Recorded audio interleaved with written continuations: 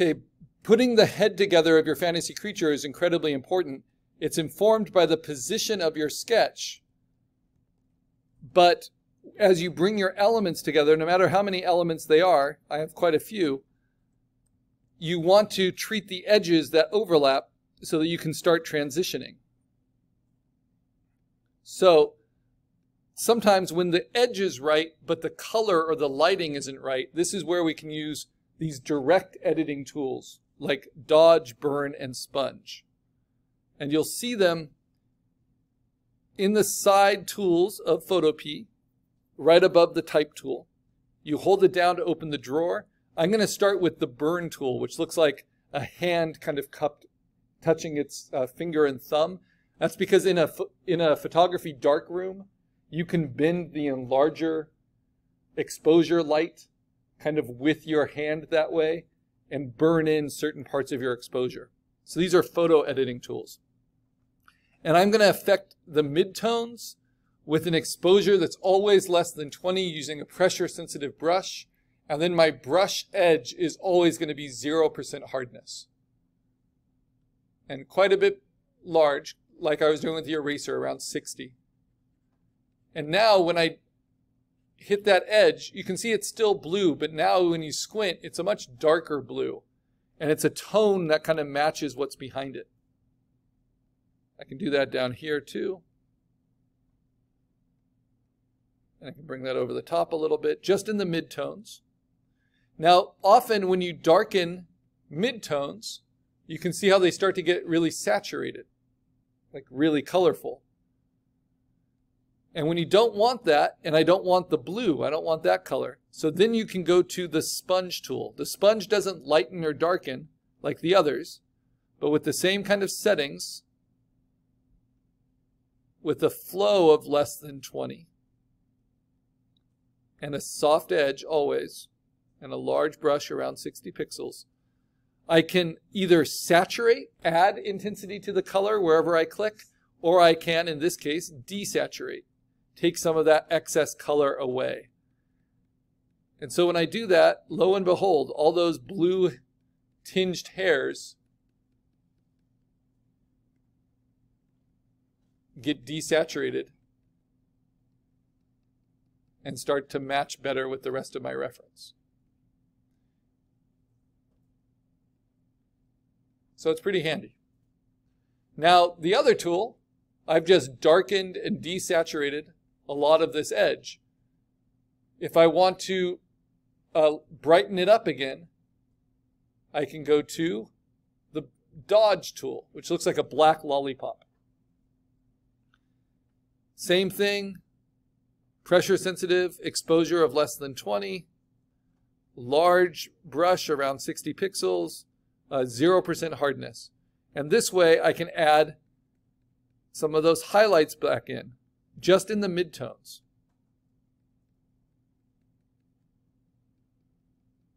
And that's going to help. Okay. Next, what about this bottom edge? How am I going to get that to work? The more I look at those eyes, the less happy I am with them. So I'm not going to worry about the eyes right now. Instead, I'm going to be blending this bottom edge with the panda ears, right? Right here. So one thing I can do is softly erase with my eraser at 100%, but a soft edge, 0% hardness, large, at least 60 pixels. Actually going to go a little bit larger, maybe like 150. I'm going to start biting away at the bottom edge of that top layer. To get rid of that, ah, that hard line.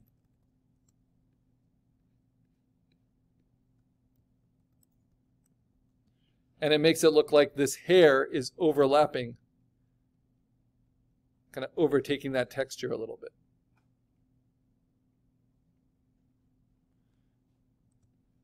And as long as I get rid of first the hard edge, this is for blending soft texture into soft texture. You'll see it will work a little differently with scales and harder textures. So I'll leave that crisp for now. As long as I start with a soft edge 100% eraser, then I can move to lower opacities, like 50%, and transition it more slowly.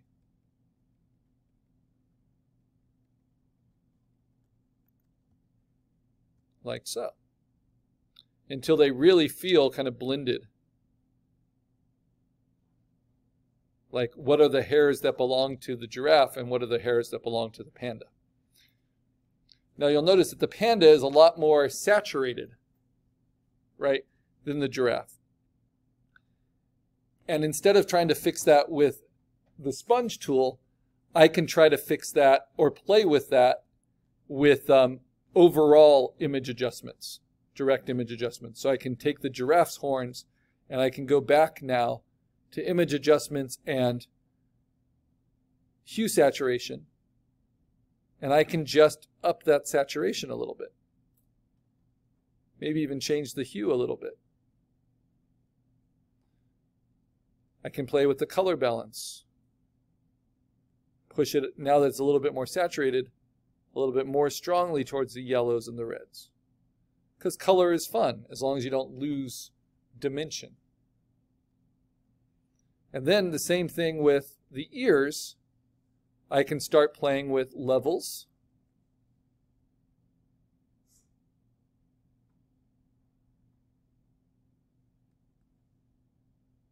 on the panda ears. So image adjustment levels.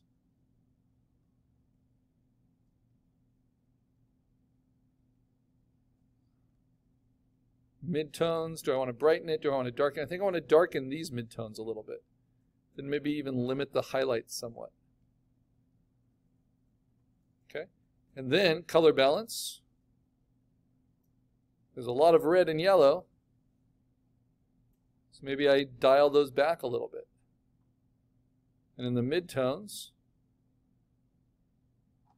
maybe I put a little bit of it back. And in the shadows, maybe I goose the cyan and the blue.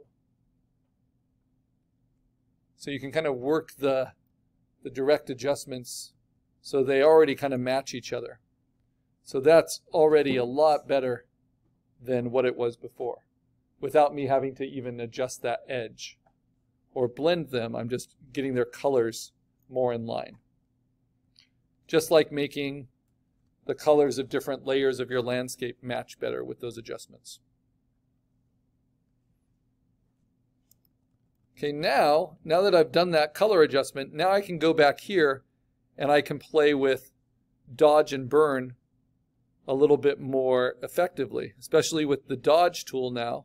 I can really brighten some of those hairs so that they match the ears.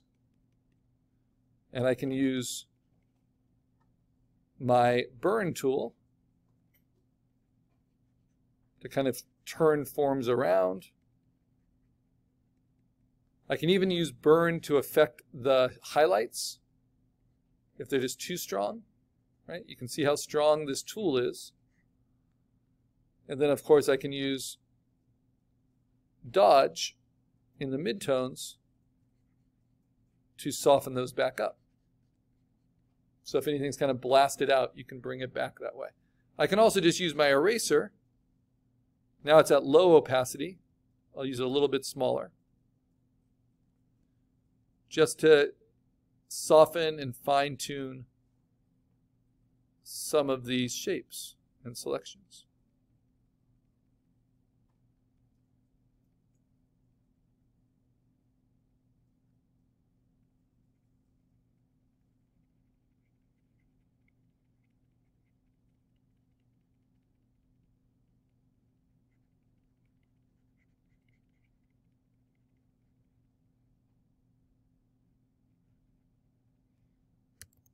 Let's see, I think I want to do that at a lower opacity erasing.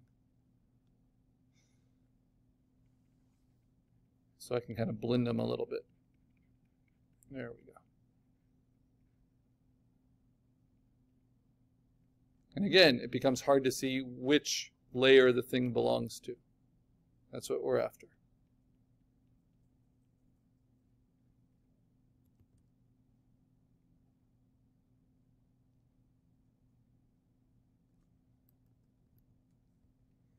So I have the ears on both sides. I've got the giraffe top. I've got the, the panda eyebrow here. Then this is a little unclear, this shape here. So now we're going to learn another tool, which is I don't want this ridge here. Instead, I want this to be kind of flattened. So I'm going to use a tool that we're going to use for finishing this off. but here I'll just introduce it. Uh, after saving it, Command S. We've just learned dodge, burn, and sponge. Now we're going to learn the clone stamp tool. So to use clone stamp, I create a brand new layer. This is the way we're going to use clone stamp in the course, because otherwise it can be a very destructive tool. So I want, want us to use it in a non-destructive way. I create a brand new layer. I'm going to right click next to the eyeball on that layer, go down to color and mark it red to kind of say danger, danger new layer. And then I'm going to label that layer by double clicking on the name of it in all caps, clone stamp. This is a wonderful tool as long as you don't accidentally use it to overwrite pixels that you've already that you already need. So I am on a new blank layer. Nothing's on there, so I know I'm safe. Then I'm going to go to the tool that's above the eraser. It looks like a rubber stamp and click on it. And just like dodge and burn, I'm going to use a pressure sensitive brush, but I'm going to use it at 100% opacity. And just like dodge and burn, I'm going to use it pretty large, like around 60 pixels, with a 0% hard edge. Okay. Now, if I start painting with it, like I would with Dodge and Burn, nothing happens. It says I need to select a clone source first by holding Alt or K and clicking on the image. So if I hold down my Alt Option button, it will turn my cursor into crosshairs.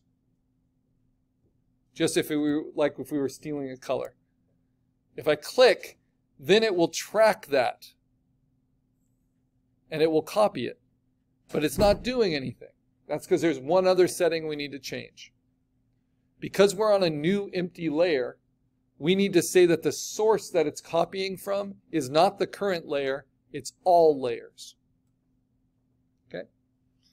So if I do that and I hold down Option and I click, and then I start painting, it's going to copy from wherever I've clicked. So I can keep moving that selection to copy that texture and move it on past at 100% opacity, like so. So if I need to transition between these two different tones of giraffe fur, I can use these different areas of the giraffe to kind of fill it in.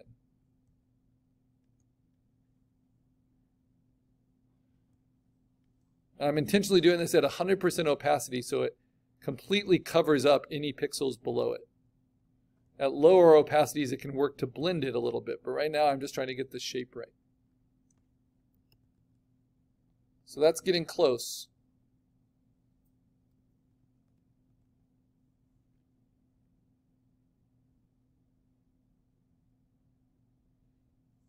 So let me just do a couple more transitions. Oh, that's too bright use some of this.